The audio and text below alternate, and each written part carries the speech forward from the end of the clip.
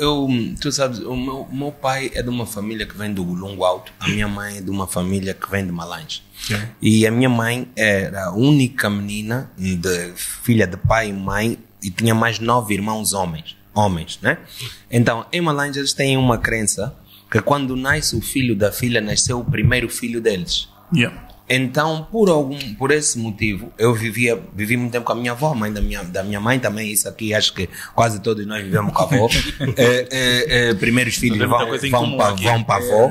É, é, avó, avó, e É, avó, avó. avós são duras, avós daquele tempo te batiam. não Ah, essas avós de hoje em normal. dia que te deixam trepar, dar cambalhota, não, aquele, a minha avó batia bem, meu irmão. Então nós tínhamos regras, tínhamos eh, eh, que estudar, todos tínhamos eh, de- deveres dentro de casa, claramente, mas eu tinha um- uma, uma, uma, uma vida que não era difícil comparado com a vida da maior parte dos angolanos.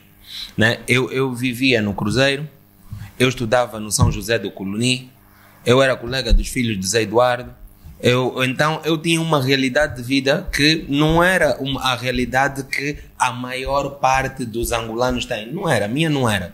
Eh, claramente que os meus pais passaram por algumas necessidades, mas eles fizeram sempre, geriram sempre tão bem para que eu não sentisse. Tá? E os meus pais fizeram só dois filhos, eu e a Ana Karina.